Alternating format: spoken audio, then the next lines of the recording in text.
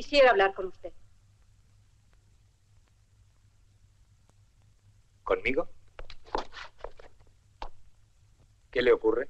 Mi examen. Me han suspendido.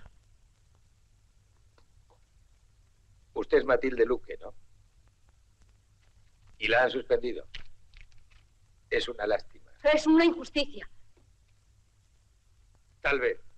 Los catedráticos también se equivocan. No ha sido el catedrático, ha sido usted.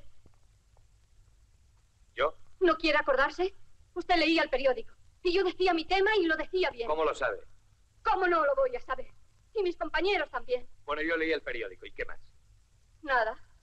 Me echó usted. Luego han salido las notas. Suspenso.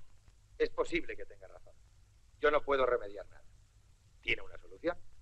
Recurre al claustro, al decano. ¿Para qué? Su cuñado es muy poderoso. Repita eso. Digo que cualquier pleito entre la universidad y yo sería inútil. Yo estoy sola. A usted le protegen la universidad y su cuñado.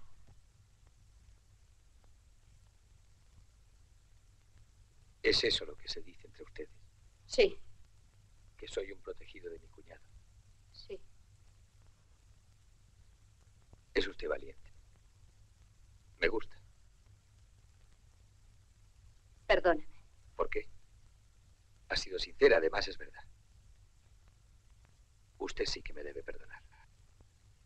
Realmente he sido injusto con usted. No es eso. Lo peor, lo peor ha sido que no había ninguna razón. De pronto, por las buenas, usted me ha echado. ¿Por qué? ¿Por qué? Creo que no puedo explicarlo muy bien. Pensaba en mis cosas. Puedo tener un problema grave. Es la única razón que hay. Es suficiente. Procure disculparme. ¿Por qué no? Hay una disculpa fácil. Su egoísmo.